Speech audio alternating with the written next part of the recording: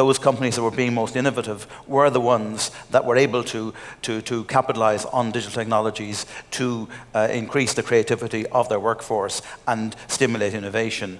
So it was on that basis that we identified Industry 5.0 around three pillars that are very much interlinked. First of all, human centricity. So seeing uh, workers as an investment rather than a cost for the, for the company, um, and using digital technologies to empower them and to make them agents of change to drive innovation in the company. Secondly, sustainability, capitalizing on digital te technologies to help companies in a positive way to support their sustainability by uh, using digital technologies to identify ways of doing more with less by developing full product life cycle processes that really help them to be more sustainable. And thirdly, uh, really focusing on uh, the, the, way in which digital technologies can be used in a dynamic and flexible way uh, in order to make companies more resilient. Um, in recent years, we've seen the, the, difficulties for companies arising from uh, uh, raw material shortages, supply chain disruptions, and of course that was really emphasized by the, during the COVID pandemic and now the geopolitical disturbance caused by the, the war in Ukraine. So the, the idea of the very uh, rigid global uh, uh, supply chains really don't work anymore, and you need to use digital technologies in a, in a, flexible way to help the company to adapt quickly to changes in its circumstances. So really, uh, uh we came at this from the point of view of um, seeing digital technologies being more human, uh, used in a more human-centric way to also drive sustainability and resilience. Well, that's quite a lot in a nutshell. Um, Yongkuk, tell us a bit about what you're working on and uh, why why you're on the panel.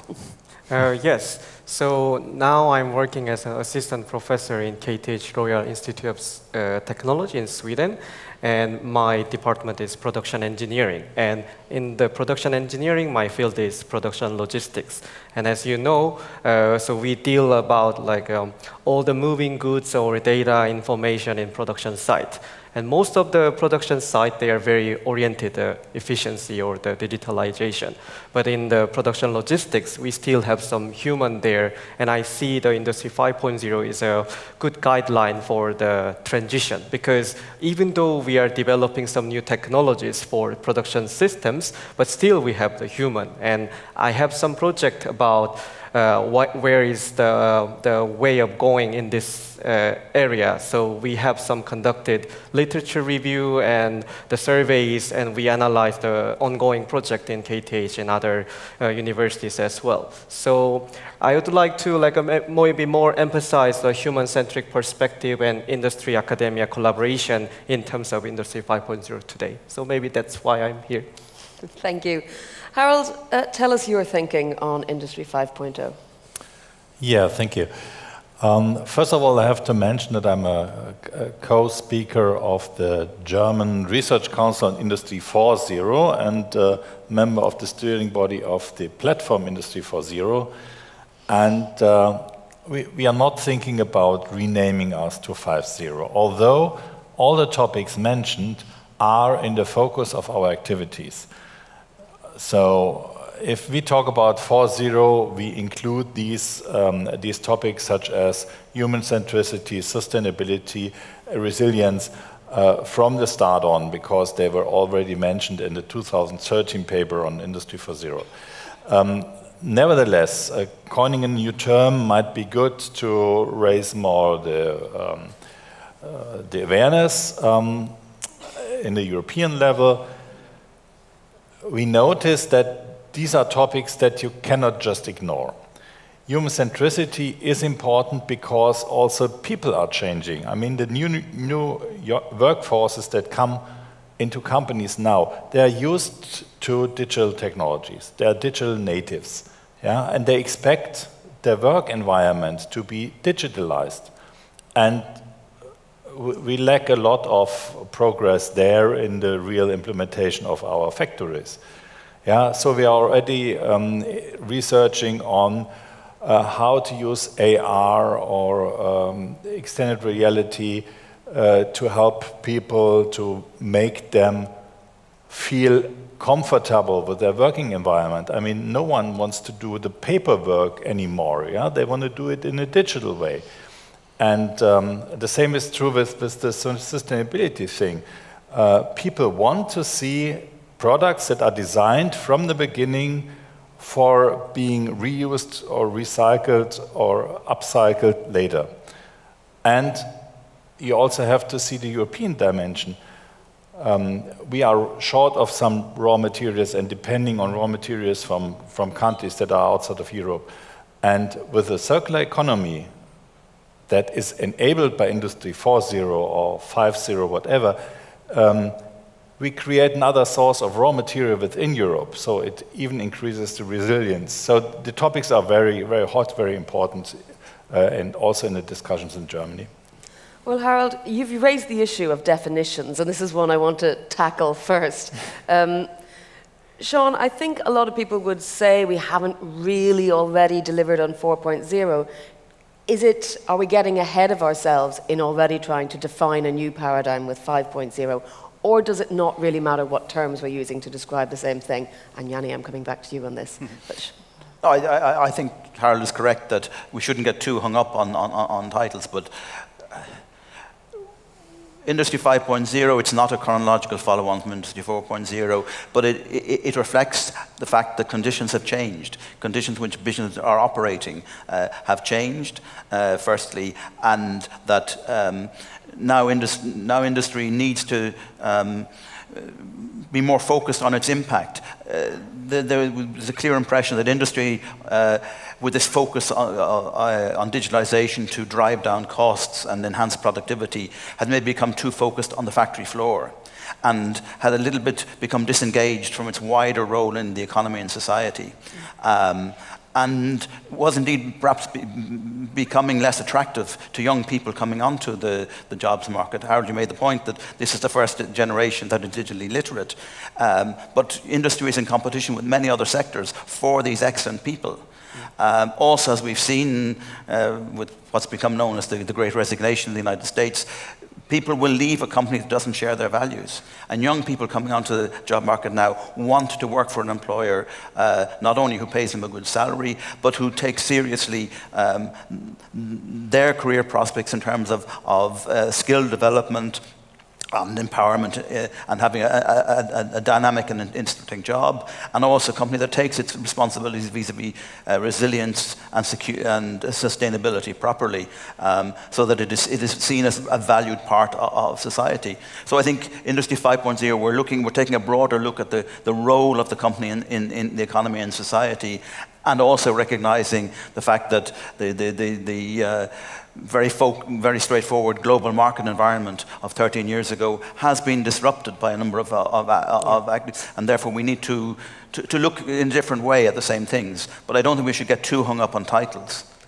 Well, I am still going to say to Jani, I mean, I can't think that I'd heard of the industrial metaverse before, um, but of course, metaverse is a, a, huge buzzword. I mean, is this just trying to make uh, the, factory floor is sexy? Hmm. Well, maybe it's a small attempt on, on that one. Um, I, I kind of uh, agree with my, my panel co colleagues here that uh, it's, it's more about having this uh, holistic view on, on, on this industrial 4.0 or 5.0, whatever term you now want to use. And, and there, there has this um, raised understanding of the situation that it's not anymore optimizing. It's, it's like, like making your business uh, generative, like uh, being planet positive. That, that you, you need to have that as a part of your business, that, that you actually not just optimize the consumption, but you actually optimize that how much you do good for, for the planet. So yeah, but the metaverse, if, if coming back to that, I think that's just one of the underlying technologies that will enable this transformation that is coming up. Well, we'll park that for now. So we'll, we have talked a little bit about the what. The difficult part is always the how. How do we achieve these sort of human centric, collaborative, sustainable, and yet high productivity goals that, that, we seem to be marrying together under this umbrella term? Um, Yongkuk, will it happen by market forces, or are we going to need some sort of regulation to get to where we want to go? What's your take? Um, I, think uh, Industry 5.0 and the Industry 4.0 right now is a transition because I think the maybe some advanced OEMs, like uh, bigger players, they are already reached Industry 4.0 and they are ready to go to further. But we have small and medium companies, and maybe there are differences between academia and industry, and maybe developed countries and developing countries as well. So I see this one as a transition. And to achieve this, I think we should have a, like a clear goal, and then uh, we, the, the bigger players can maybe be the leader of these like use cases, and the small and medium companies get some like a benefit from the bigger players as well. And also same for the industry, academia, and the regulations as well. So I see this is a, like a long run we, we will achieve maybe efficiency and the, the customers' involvement and the, the young people will join the like a visionary companies later. But maybe in the short term, we need some regulations because nowadays maybe some companies, they are investing ESG and the sustainability because they can get some benefit at this moment. So as a short term, I think we need some kind of regulation, but I see as a long long run because this is a transition. So at the end, we will get some improvement in the bigger perspective. Harald, you want Yeah, on the regulation, I mean, we have a lot, we have seen a lot of regulation uh, in the in the last years that's coming from the European Commission, and it's it's of course good that we have all these ESG reporting things, but we should be careful with introducing new regulations because we have the AI Act, we have the Data Governance Act, we have the Data Act coming up. Uh, so it's a lot of things that really um, create uncertainty with the companies. What does that all mean? Uh, what are the consequences of that? And for example, the Data Governance Act has, has destroyed some business models that were just raising up uh, in the area of data sharing because, well, I, I, don't go into the details why that's the case, but um, so I, I, think it's it's enough of regulation at the moment. Um, we we have to consume all the new regulations and adapt in the industry, and uh, even more regulation that would not benefit, but it would uh, would hinder European industry. Yeah? Um, and of course, industry is doing a lot at the moment to increase all the ESG aspects because People are demanding it. The employees are demanding it. The customers are demanding it, at least in Europe. Um, and that should be enough uh, to drive the, the whole uh, movement. Well, I always say when we talk about laws, and in particular EU laws, if there were no bad actors, we wouldn't need any laws at all. If everyone behaved ethically and responsibly, um, then, then the Commission would be out of a job, really. Um, but Sean, let me bring you in here. Not to focus overly on necessarily the legislative side, but tell me whether you think we're creating the right conditions uh, and what might those conditions be for a successful transition to 5.0. Well, I would, I certainly uh, agree that it's, uh, um, this process must be driven by innovation, and we shouldn't do anything that in any way hampers innovation. Um, I think the, the, and it is for industry to adopt Industry 5.0, and the role, uh, our role um, at the European level really should be uh, to, to, to, to, ensure the right framework conditions are in place. So making sure that at policy level there is coherence, what we're doing across different areas, um, that um, there is a, a, clear directionality, and that there's a, the appropriate level of incentives.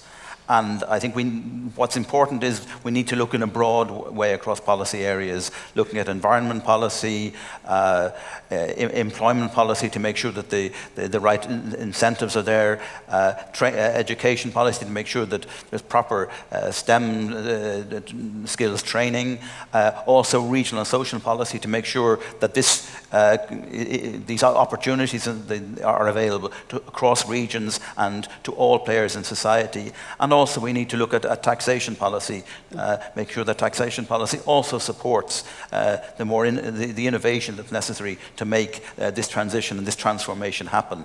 And of course, on the research and innovation side, we see it as very important as well to, to uh, uh, have programs and, and, policies in place that support this innovation. So, yeah, we, we definitely need the proper framework conditions, and we need to look in a broad way at these to make sure that the system is, is working in the same direction. Well, I want to talk about skills now as well, because having a, a, skilled workforce is obviously a precondition. Um, and you've mentioned that already we have digital natives. Jani, do you see any gaps? Or are there any concerns? Or, or do you see that there's so much great young talent coming down the line that, uh, that we're going to be fine? Well, I personally, definitely I see gaps. Uh, I, in, in Bell Labs, uh, we do research and we try to do cutting edge research and, and actually there is always a scarcity of, of good resources um, and, and talented uh, resources. What comes to this tra transformation and so on, I have a little bit hope on our younger generation that the mindset is different and maybe they are choosing more wisely their, their uh, education and, and have more uh, and better, better kind of um, suitable education for, for this topic uh, like um, sustainability and so on. At least I see that in my kids and, and, and so on. Um, but yes, there is a gap, and if you think about the geopolitical thing, I think there is a bigger gap in, uh, in Europe than in the US. Uh, Koch, I mean, could you expand a little bit on that? I'm sure you'd say you're, you're doing fabulous in Sweden. Um, do you see any other gaps around Europe, or, um, as Jani mentions, compared to the US or Southeast Asia or, or other parts of the world? In terms of like? In terms of the skill set, in terms of the, the, the workforce that's there and coming. Um, for example, in Sweden, yeah, I, I have maybe know, know more about Swedish case, uh, cases, so I will talk about the Swedish case. So in terms of Sweden, uh, there are many reskilling and upskilling programs for the employees. So it is not only for the young young students and young people. So I think they are already engaged in sustainability. They are aware about their future, so they are concerned about it. And also because of the digitalization, many people are worried about, can I still work in this field? Uh, can I like use my skill in next five or 10 years? So in Swedish universities, we have some, um, in, we call it engineer 4.0 program, even though we are using 4.0, but they are more talking about reskilling the current workers for the digitalization and how they, like, uh, for example, use the robot or they use the digital twin in their work. So there are many uh, upskilling and reskilling programs in Sweden. But I guess other, other countries and other regions are doing this similar in a way. Well, Sean, we often talk about Europe as being in a race with other parts of the world in, in whatever context, uh, econ uh, economically or industrially. Do you have any insight onto which, where, and which areas globally are sort of best placed to, uh, to race ahead in the 4.0 race, or 3, 5.0 race, sorry? Well, I think it's a, it's a very relevant point because uh, I think we were ahead of the game when we, we, we developed the concept. But in, in, the, in the two years, two, two to three years since then, we're seeing other parts of the world uh, really catching up with us. I mean, if you look at the US, um, the uh, Biden administration's Inflation Reduction Act. I mean, Industry 5.0 uh, is at the heart of that. It, it, it's, all, it's, it's, about bringing uh, manufacturing back and bringing people, putting people at the, people at the center of it. And you know, we're already seeing in MIT, they're reorientating their, their manufacturing programs um, to, to focus on, on, on delivering the skills and they have a very interesting initiative. Uh, they call it the Hub and Spoke Initiative, where they develop it. It's an MIT quality program, but it's being delivered right across the, the, the, states of the US, close to where the companies are that need these skills, so that uh, their workers can acquire the, the, the, skills development on an ongoing basis uh, close to where they're working. We, we, I mean, in Europe, EIT is doing really good work in, in that area. We work a lot with our colleagues in EIT manufacturing, and they're bringing their, their programs uh, very much into line with the Industry 5.0 principles. But we we're good at talking about things in Europe, uh, and in other parts of the world, maybe they move, they move ahead faster. In Australia, they're just beginning now uh, to, to, to uh, understand the opportunity of Industry 5.0, and they've developed now in, um, in uh, uh, in Queensland a, a, a, trial program which is very close to Industry 5.0, combining training and coaching and, and so on. And in areas like, like, like India and Pakistan, they're, they're really jumping on the Industry 5.0 bandwagon very quickly. So yeah, we, we very fast other parts of the world are, are, catching up with us. So we, we need not only to talk about Industry 5.0, but we need to make sure that we're putting it in place, particularly putting in place the skills that are needed. Harald, let me ask you about collaboration and, in particular, public private partnerships and, and uh, working groups, this whole uh, topic that we like so much in Brussels. How important is that, and do you see it happening enough at the moment? Are there any good examples or are there any bad examples? Well, um, yeah, I see some, some good examples uh, in that. Um, we have um, public-private partnerships in the data area. We have pu public-private partnerships in the industrial area as well. And uh, as far as I can see, or as, as I can say, they are, they are quite successful because uh, the Commission works together with, uh, with all the stakeholders, industry and research, in these partnerships to develop the right research programs. So that's, that's very successful. Um, but that's the research side that I know. Um, on the other hand, I'm not sure what public-private partnerships can do in addition.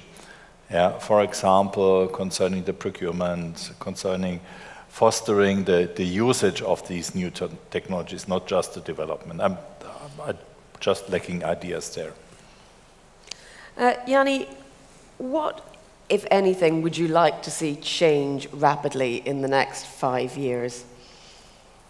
In yeah, in, in, in relation to this topic. Yeah, yeah. Um, I, I hope that there is more adaptation of, of these new technologies, that we start really utilizing those. So I think that's, that's the, thing. Then I, I hope this legislation and all that brings this visibility and transparency that it's more fair to compete at the market because I think that's also the, uh, the driving force that once once uh, you can really have the visibility and, and say that I do it right and, and our company have the, the, the right measures to do it, I think that that gives you the competitive advantage and, and so on. So I, I hope the transparency happens. I hope that there is a faster adaptation of, of the new technologies. Uh, yeah, I, I would take those two. Uh, Yongkuk, I, um, I mean, we, have talked about the human-centric nature and we've said that collaboration is important. I mean, some other factors that fall under the umbrella of 5.0 is personalization or customization, sustainability, resilience, and decentralization. I mean, of those four or five areas, is there one that stands out to you as potentially having the most impact uh, well, maybe the personalization is also related to human-centric as well, because as a, like an employee or the person who will do their work, they will get more motivated if the environment is more personalized. There was one research, it was talking about uh, industrial human needs, that there was a pyramid, and when the people, uh, how, when, what is the need for the people. So the first one was the safety, and and then the next one is healthy, and the next one is the belonging and esteem and the self-actualization. And I think that the last two parts are more in, in, uh, correlated to the, the technological perspective, but the other like belongings and uh, uh, like a self-esteem or the self-actualization, it, it, the people can feel more when it is more customized. So one example that I have involved in one project with the steel manufacturing company, and we have interviewed the the drivers in the factories because we are developing some autonomous uh, transportation system for them. So we thought that, okay, this is our solution and we will give you the direction to you where you go and where to pick and so on. And the driver says, no, but I don't want to just follow the AI's recommendation. I want to have my options so I can do my work and I can feel get more motivated. I think it, this was a really good example for me. Aha, there was something else. We should not just provide. Maybe we need to hear the people who will use these technologies and also uh, how can get more involved and get motivated people. So I think the personalization is the really important part. Sean, same question to you. I mean, where do you think the biggest impact will be? I mean, I, I mentioned sustainability and resilience and decentralization as well. well I would maybe se separate out um, uh, sustainability and resilience as two goals we need to achieve. But I think there are, there are a lot of driving forces. This, this uh, need for, for greater customization uh, that people want, that the, the market is demanding, uh, the opportunity for, for greater personalization. I think, and these coupled with uh, some of the, the technologies that, that Jani has talked about, these can all help us to, to, to uh, move in, in, the, in the appropriate direction. Um, and I, I, think at this moment, resilience is probably uh, uh, this punctually the critical thing we need to get right because we're still in a very uncertain business environment. Um, on, on, sustainability, I, I, think what's important is that uh, the digi digital technologies are used in a way so that companies don't no, no, longer think about it in terms of not doing the bad things, but rather making a positive contribution to sustainability by using digitalization to uh, uh, improve their, their, their, their, production processes and, and succeed in that way. I think you're right on resilience. We had a we kicked off yesterday morning with a panel on semiconductor supply chains, and that was the point that kept being raised. I would like to, I would like to actually pick the decentralization yeah. because uh, um, we do a lot of research on Web3 type of uh, software, and now I see a big opportunity to combine that with this kind of uh, manufacturing, and, and it, it could affect the um, supply chains, it could affect the way how you, how you kind of make your investments at your factory, and then how you distribute your factory uh, assets and so on. So I, I would pick that one as the next disrupt, disruptive uh, uh, thing and, and the biggest thing in this one. Harald, do you want to pick, pick one, or shall I ask you the, the question about investment? No, I, I, fully, I fully, fully agree to what, what has been said, but I want to uh, highlight uh, the sustainability part a little bit.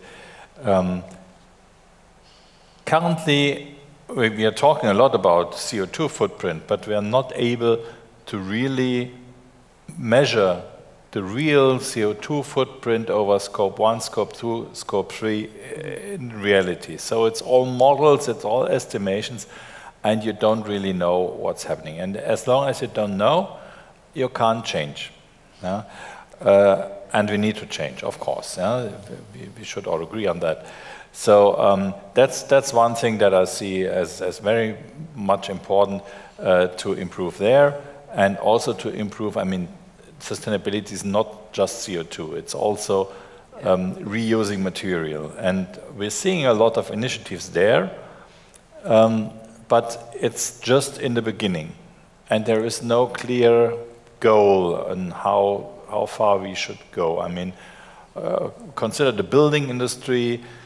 Concrete is, is known to be, um, depending on sand, which is a rare resource nowadays, interestingly, um, it, it's creating a lot of CO2 and so on. But on the other hand, the deconstruction of buildings creates a lot of material. But that material is rarely used to build new buildings. Uh, maybe because of regulation, maybe because of uh, technology issues. So improving in that uh, aspect is, from my point of view, very, very important, in particular for Europe. We should have had you at EIT Raw Materials a couple of weeks ago talking about that very subject. Um, to wrap up, I mean, I, I, wanted to quickly touch on the point of investment into innovation, into R&D, um, and where that fits within this ecosystem, shall we call it. Um, Sean, what do we need, and, and how fast do we need it? I think we need um, first of all, we need, we need commitment uh, to, to really move forward with the transformation quickly. I think we need more engagement and investment by companies uh, in ongoing skills development, seeing uh, skills as, as, as, a strategic tool for the company uh, so that uh, it's a way of empowering workers. It's also a way of uh, offering workers a, a, stimulating career. So we certainly need something there. And I think we also uh, need in, in investment in, in, innovation and uh, opening up opportunities for cross-sectoral cooperation so that we, we really see the, the, the opportunities that digitalization uh, can, can have for industry in terms of moving out of the old uh, uh, sectoral silos and bringing ideas together across sectors and companies coming together to develop new, new markets and new opportunities across sectors. Uh, Yongkuk, what are the next steps then, thinking more near term? Um, in achieving the aims that we want to achieve with 5.0? I was thinking about like uh, the regulations and rules are very important to get innovative because maybe people are in the box and they will think about something creativity. But also the regulation and the rules can limit the people's thinking. So maybe some kind of regulation-free sandbox for the innovative companies or innovative research institutes so they can do whatever they want. It should be regulated, but some more innovative space. I think that, would, that can be helpful. Are you suggest the sort of regulatory sandboxes that we talk about? Yeah. That? yeah. Yeah. Harald, your thoughts on, on where the direction of travel and the speed of travel? Um, are we getting that right? Well, it's uh, in an economic situation that we have at the moment. It's not it's not easy for companies to invest in technologies that are maybe far off. yeah. Uh, so we have to show the companies uh, the the low-hanging fruits, yeah? Even in in uh, respect to sustainability, to human centricity, and so on. And uh, and to do so, it's very important to bridge the research activities that are there and that have have done great progress on, on all these areas with the real industries, industrial implementation. Um, in particular, in, in Germany, it's, it's difficult because we have a lot of world-leading companies, real champions, but they are small and they are very distributed over, over Germany. So 99% of the German industry is small and medium enterprises. Um, and to, to distribute all the knowledge to them, that's, that's a hard issue, and we should work very hard on to do that. Um, Jani, I said at the beginning that uh, there could be criticism that we haven't achieved 4.0. As Sean points out, it's not necessarily a next iteration uh, to get to 5.0. But how fast are we going to get there? When do you think we'll be looking back and saying, oh, that's job done, tick the box? Um, You mean to Industry 5.0? How Yeah. fast? we-. Uh, and why? well, I, I think it's a, it's a transformation, and there are businesses and industries in different stages. So most probably it's hard to say that when, when we have reached that and we can claim that now we are there. Uh, can we even claim that we have done Industry 4.0? At least I have been in the businesses that they, they are not even close. Uh, so my answer is that hopefully some companies will reach that soon and, and the others follow fast. So watch this space. Oh, uh, I think that some of the companies are almost there. I, because now, okay, it's, it depends how you define it and how widely you want to think about it. But, but um, I, I would say that, uh, for example, Nokia is uh, quite well on, on, its, on its way. Well, you would say that, wouldn't you? Yeah. But thank you very much, gentlemen. It's been an interesting discussion. I don't think we've solved all the issues or answered indeed all the questions at this point, but we were never going to achieve that in 45 minutes. So thank you very much. A big round of applause for our speakers, please.